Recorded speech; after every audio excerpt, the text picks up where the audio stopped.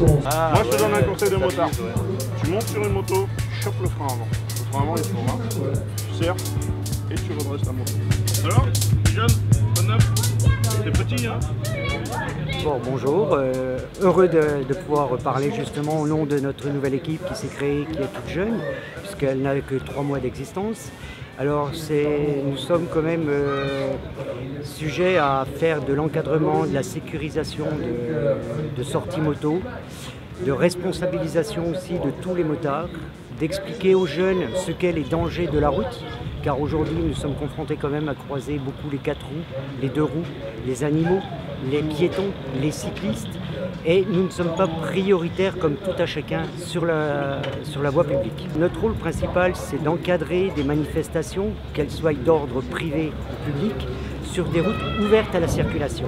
Quand on a l'occasion de faire partager notre plaisir, parce que ça reste avant tout un plaisir de rouler en deux roues, quand on a l'occasion de pouvoir faire partager ce plaisir à d'autres motards, d'autres jeunes qui viennent d'avoir leur permis, qui ont besoin d'avoir une expérimentation, eh ben, nous allons en faire profiter justement ces jeunes motards.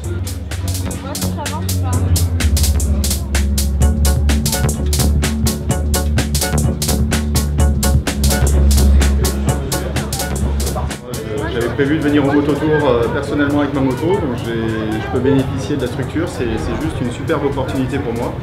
Et du coup, bah, je remercie énormément euh, voilà, BM, euh, Team Techmas de me faire confiance euh, pour ce mototour. Euh, bonjour à tous les 2, 3 roues et 4 roues motorisés maintenant avec un guidon. Et pourquoi dans le Var? Bah, Tout simplement parce qu'on est un département qui est très très riche en deux roues, puisqu'on est à peu près 300 000 dans le Var et euh, qu'on est la seule association qui défend euh, donc justement les, usagers de la, de la, route les plus fragiles, puisque les infrastructures ne sont pas toujours prises en compte euh, par rapport à la fragilité de l'individu euh, sur, un, sur un deux roues. Bizarrement, l'Europe a dit qu'effectivement le deux roues contribue à la fluidification de la circulation, mais en ouais. France, euh, bah, on n'a pas de constructeur de deux roues français, donc euh, on n'a que des voitures et, bah, voilà. et on a des technocrates qui ne qui réfléchissent pas toujours pour tout le monde. Bah, le comportement d'une minorité, malheureusement c'est une minorité qui euh, on, sont individualistes, ne pensent pas aux autres, ne pensent qu'à eux et qu'à leur plaisir personnel. Après, 80% des motards, ils sont pas plus dangereux que ça, hein. ils sont équipés, ils font attention. Ils vont en balade, ils roulent tous les jours. Bon, bah, voilà. Nous, on est pour une, euh, une incitation à l'équipement et euh, une baisse de la TVA sur les équipements de sécurité.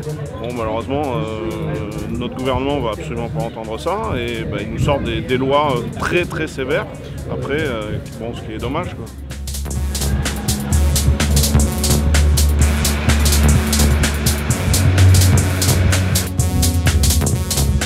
La piste d'éducation routière CRS Attitude Prévention a pour but d'éduquer et de former à la conduite du roues les, toutes personnes à partir de 14 ans. Toute l'année, on fonctionne avec des programmes scolaires. On forme environ 10 000 jeunes par an euh, sur 25 villes, 30 villes environ. Donc la formation que nous proposons commence par une, euh, initiation sur une moto home trainer qu'on appelle, fixée sur des rouleaux en toute sécurité. Donc on apprend aux personnes le maniement des commandes, à quoi elles servent, ce qu'il faut faire et ne pas faire en moto. À l'issue, la personne est dirigée au niveau de la boîte à casque où elle est équipée.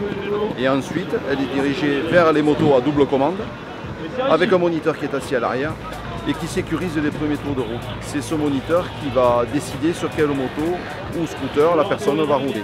Ou pas, s'il y a un souci de sécurité quelconque au niveau de l'équilibre de la gestion des gaz, on ne fait pas rouler mais c'est très rare. Allez, musique de départ dans une minute. Allez, je là dans le cadre du mototour pour effectuer des démonstrations de moto trial.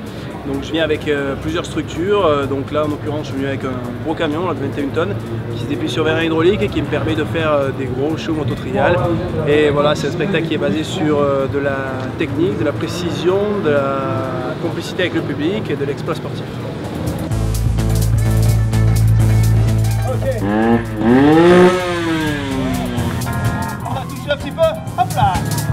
Je fais à peu près une soixantaine de dates à l'année, donc ça fait à peu près 150 ou 170 jours de show par an. Et euh, ça représente une charge énorme. On travaille en termes de logistique, euh, d'intendance avec les machines, les camions, puisque j'ai plusieurs structures, beaucoup de moteurs préparés, beaucoup d'entraînement aussi à faire. Et, et voilà, donc beaucoup, beaucoup d'heures aussi passées sur la route.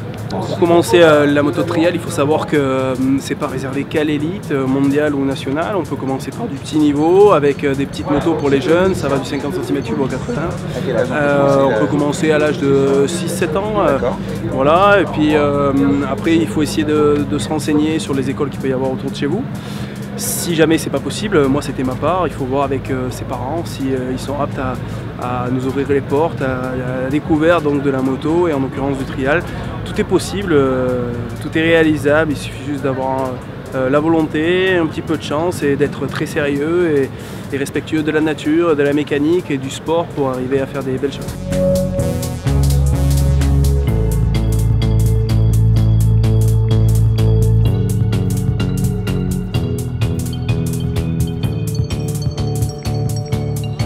Vas-y, vas-y, vas-y. Bon, je sens que vous vous sentez euh, un petit peu seul là. Hein.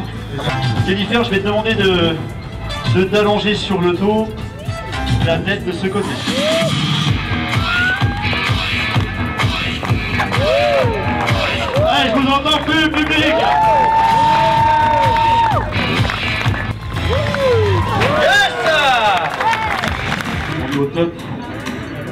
Un peu tendu, Jennifer. On va te détendre au niveau des trapèzes pour détendre, tu peux, c'est pas, c'est vraiment pas compliqué à imaginer, à quelques mètres d'ici. Eh, J'aimerais qu'on les applaudisse toutes les deux. Merci beaucoup. Alors, sensation C'est cool, c'est cool. C'est très bien. T'as kiffé là, là. Tu l'as senti la roue là? Ouais, ouais, je l'ai bien senti là aussi à un moment.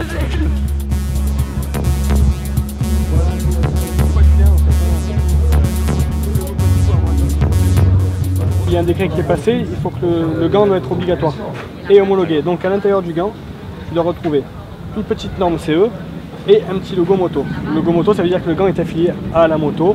Et pour ça, il faut que le gant en fait soit, soit, soit.